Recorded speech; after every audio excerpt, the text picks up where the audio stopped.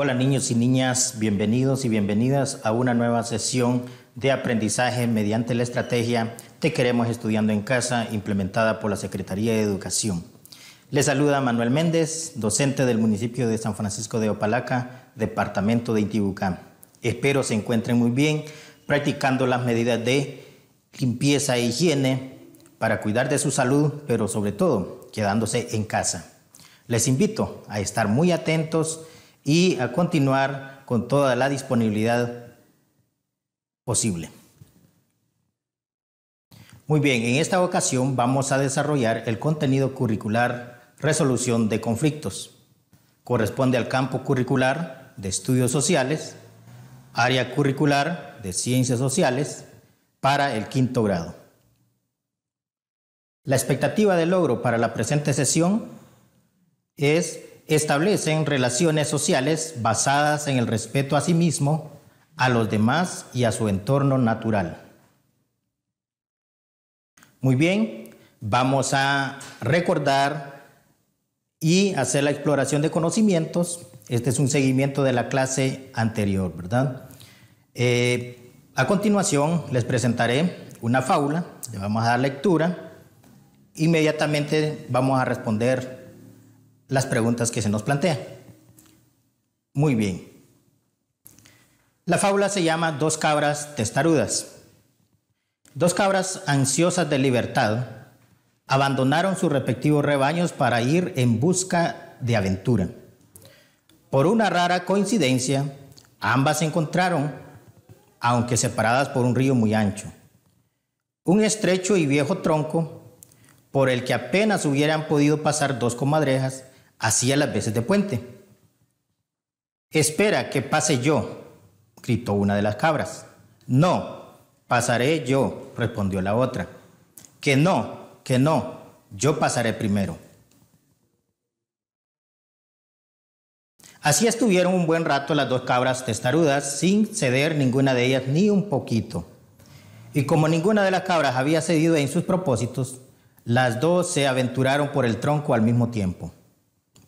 Llegaron a mitad de camino y aunque comprendieron que era imposible pasar las dos a la vez, ninguna de ellas quiso retroceder. Al final, cansadas, las dos intentaron pasar a la fuerza, golpeando a la otra con los cuernos, y como las dos tenían la misma fuerza, acabaron cayendo al río. Las cabras fueron arrastradas por la corriente del río y nunca nadie más las volvió a ver. Muy bien, niños. Espero hayan prestado mucha atención a la fábula que hemos dado lectura. La moraleja que nos deja es, más vale ceder en el momento justo antes de acabar perdiendo una gran oportunidad. La terquedad no es buena consejera. Como recordamos, el tema es resolución de conflictos. Entonces vamos a responder las preguntas siguientes. ¿Dónde querían ir las dos cabras? Muy bien. Las dos cabras querían aventurarse, querían conocer más el espacio de donde ellas vivían. Lo que sucede es que estaba dividido o pasaba un río, ¿verdad? Por la cual ellas tenían que eh, pasar hacia el otro lado. La siguiente pregunta. ¿Qué sucedió cuando las dos intentaron pasar al mismo tiempo por el tronco que unía las dos colinas sobre el río? Muy bien. Recordemos que las dos querían pasar al mismo tiempo. El detalle es que solo un tronco hacía las veces de puente y que solo podía pasar una a la vez. ¿Cuál era el problema con con el que se encontraron las dos cabras? El problema es que no había espacio para poder pasar las dos a la vez, ¿verdad? ¿En algún momento alguna de las dos cabras cedió?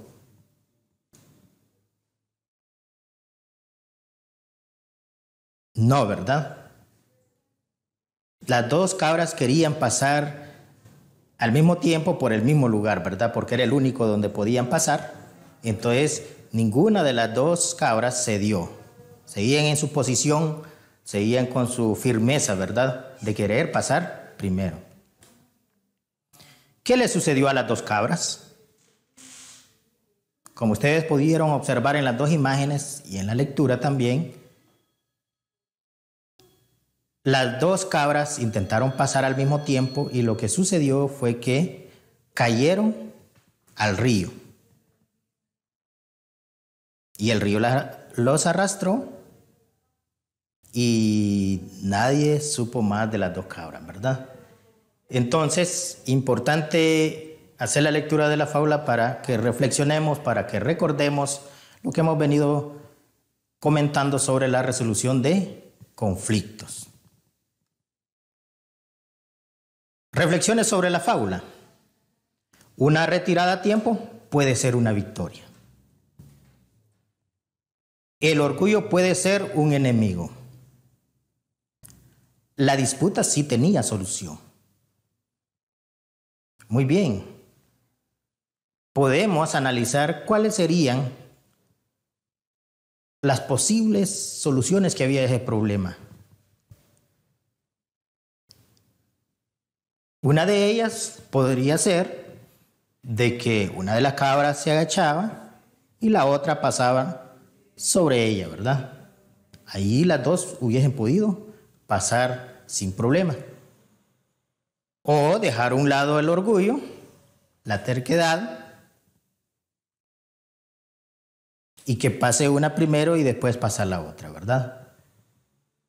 Y ustedes observaron las consecuencias que tuvieron las dos cabras por no ceder, ¿verdad? A la posición que ellas tenían desde un inicio. Muy bien. Vamos a responder las siguientes interrogantes. ¿Qué es un conflicto? ¿Qué tipo de conflicto conoces? ¿Cuáles son las causas y consecuencias de los conflictos? En la sesión anterior ya ustedes definieron lo que es un conflicto, abordaron esa temática, entonces vamos a darle seguimiento, ¿verdad? Muy bien. Conflicto. Un conflicto es una lucha o disputa entre dos o más partes. Un conflicto surge cuando dos o más personas con visiones distintas entran en confrontación, oposición o disputa para neutralizar dañar o bien eliminar a la parte rival. Lo que sucedió con las dos cabras, ¿verdad? Testarudas, que hubo una confrontación, ambas tenían una posición firme y la mantuvieron hasta el final. Y ya vieron las consecuencias, ¿verdad? Entonces, igual, si trasladamos esa a nuestra realidad, esa reflexión sucede en nuestra familia, en nuestro ambiente laboral también, en la sociedad en general, hay muchos conflictos. Y que de igual manera nosotros debemos de actuar de forma prudente para que las consecuencias no sean graves, ¿verdad? Vamos a analizar los tipos de conflicto que existen. Los conflictos personales. Sabemos de que los conflictos eh, pueden existir también en el interior de cada uno de nosotros eh, por alguna situación que estamos viviendo. Hay un conflicto interior, por ejemplo, una persona que en su jornada de trabajo no le fue muy bien.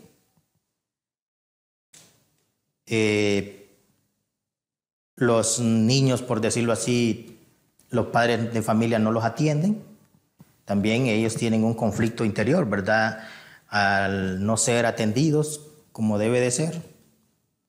Los padres de familia, ¿verdad? Involucrados en situaciones con, con el esposo, la esposa, en fin.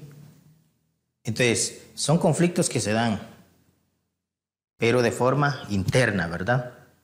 De forma interna y a veces eso puede conllevar a una situación muy grave, consecuencias muy graves. Otro de los conflictos es conflictos de grupo. Aquí ya intervienen dos o más personas. Eh, podemos analizar conflictos mm, en la familia entre hermanos,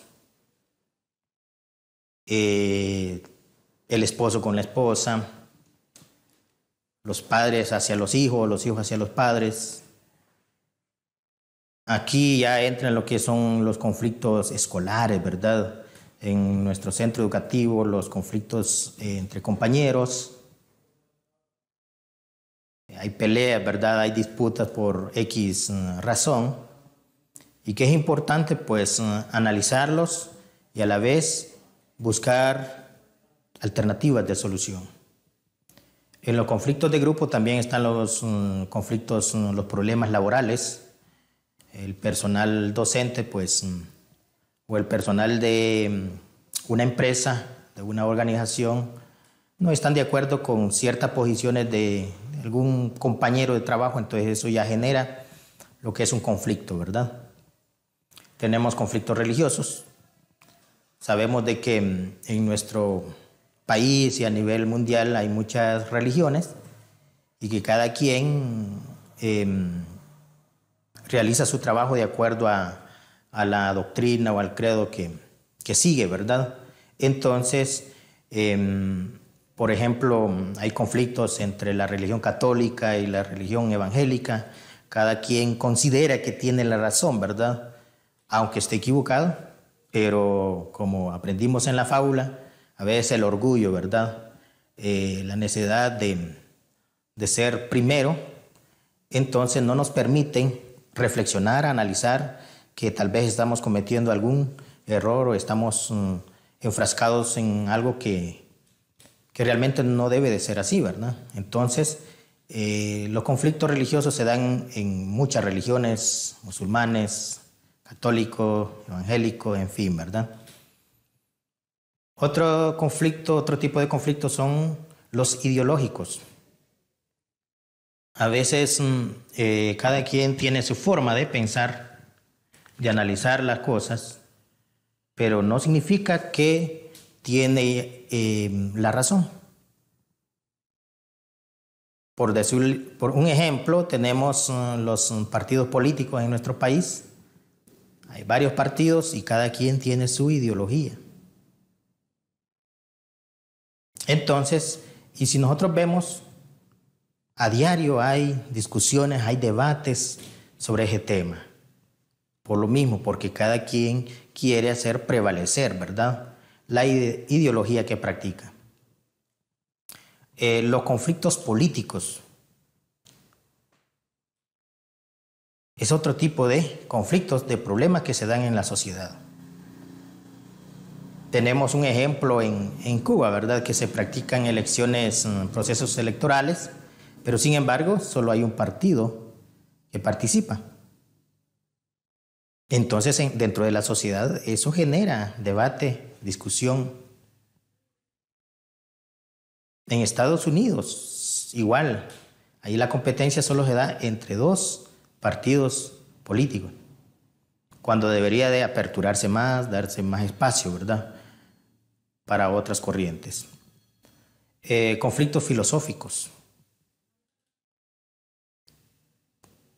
A veces en nuestra sociedad se da algunos análisis y que ciertos grupos consideran que eso es lo, correcto. Por, por, decirlo, hay personas que estamos mm, conscientes de que Dios existe, pero hay otro grupo que considera que Dios no existe. ¿Verdad? Eso ya es un conflicto filosófico. Porque va más allá, ¿verdad?, de lo que nosotros, de nuestro alcance. Muy bien, los conflictos armados. Los conflictos armados ya son problemas bastante complejos, bastante graves, y que pueden generarse de, un país hacia otro país, porque cierto país quiere imponer, ¿verdad?, la autoridad, quiere estar siempre en primer lugar, entonces se generan conflictos armados, ¿eh? guerras, ¿verdad? Y que trae consecuencias muy graves para la sociedad. porque hay bastantes muertes, hay, quedan personas inválidas, en fin, hay muchas situaciones y hay eh, a nivel de mundial en cuanto a desarrollo, en cuanto a infraestructura, hay daños, entonces las consecuencias son bastante graves. ¿Cuáles podrían ser las causas de los conflictos? La falta de comunicación. Cuando no hay una comunicación clara entre dos o más personas, el conflicto tiende a surgir antes o después. Es muy importante una comunicación clara, precisa, tanto si es verbal como si no, y entendible para que no haya problemas. Porque una mala interpretación a un mensaje provoca un conflicto inmediato difícil de resolver. A veces en nuestros centros educativos hay niños que llevan cierto mensaje al padre de familia que no es el mensaje eh, correcto, eh, no transmite bien el mensaje, entonces el padre de familia se hace una idea de cuál es el problema y tal vez no es así, ¿verdad? Entonces hay una confrontación hacia los otros padres de familia porque no hubo una buena comunicación. Igual, si no existe comunicación en el personal que labora en una empresa, también eso genera problemas. Otra de las causas, los valores o creencias distintos. Dos o más personas pueden verse envueltas en problemas solo porque comparten una serie de valores o creencias diferentes sobre determinados temas. Esto impide un buen acercamiento entre las partes. abuso de poder de alguna de las partes. El abuso o supremacía de poder de alguna de las partes genera problemas que son muy complicados de resolver. En una empresa, cuando el jefe quiere imponer, ¿verdad?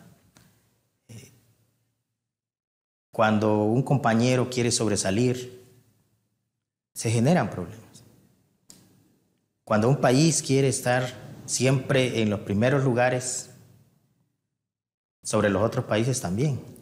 Provoca conflictos. Pero frente a eso, podemos encontrar algunas claves para solucionar los conflictos. Por muy pequeño que sea un problema, podemos tratar de solucionarlo. ¿Mediante qué forma? Mediante el diálogo. Y el diálogo es un proceso comunicacional en el que las partes en conflicto informan, debaten, crean opciones y negocian con la finalidad de llegar a acuerdos de manera colaborativa.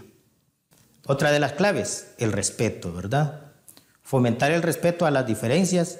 Uno no es mejor que otro, simplemente diferente y hay que respetarlo y respetar las situaciones. Saber respetar a los demás y a sus pensamientos es esencial pues representa valorar y tolerar las diferencias y comprender que ellas nos hacen crecer. La empatía. Necesitamos entender que la otra parte también tiene sus razones y sentimientos para así dialogar y buscar una solución que agrade al máximo a ambas partes. La empatía es ubicarnos en la posición de la otra persona. Puede ser que a lo interno en la familia tenga algún problema y tal vez eso hace que ese problema lo lleve a su centro de trabajo. Entonces debemos ser empáticos, ¿verdad? Tenemos que escuchar a la otra persona por qué razón su comportamiento es así. Buena información y comunicación. Esta será esencial para que todas las partes tengan la información adecuada acerca de una acción u objetivo. Recordemos que la información puede llegar de forma mm, oral o también de forma escrita. ¿Sí? Hay varios medios que brindan información y si es la correcta, entonces no genera mayores problemas, ¿verdad? Pero si ya la información no llega como tiene que ser, entonces empiezan los conflictos. Escuchar activamente. Debemos mostrarnos abiertos a lo que nos quiere decir la otra persona, pues con la escucha nos aseguraremos de haber entendido bien y frenar la generación de conflictos. Generar alternativas para solucionarlo, ¿verdad? Cuando el conflicto está creado, es importante buscar diferentes formas de resolución del conflicto a fin de solucionar el problema que genera el conflicto. Lo que sucedió en la fábula. Había algunas alternativas, ¿verdad? De que las dos cabritas hubiesen podido sobrevivir o no hubiesen tenido ese problema de que cayeron al río, pero ellas se mantenían en su posición, entonces les eh, generó esas consecuencias. Analizar las causas. Es importante tener presente por qué surge un conflicto. Analizar una o varias causas de esto y con ello dar una posible solución. Debemos de actuar eh, con mucha sabiduría, con mucha prudencia, ¿verdad?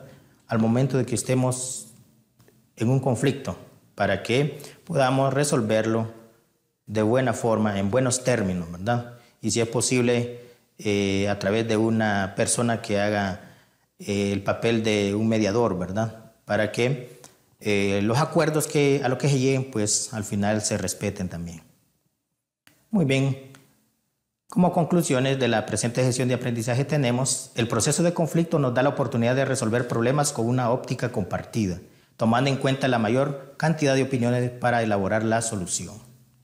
El conflicto es un hecho cotidiano de la vida y una oportunidad constante de aprender. Muy bien, niños, la asignación para esta presente sesión es que van a investigar ejemplos y van a ilustrar cada uno de los tipos de conflictos.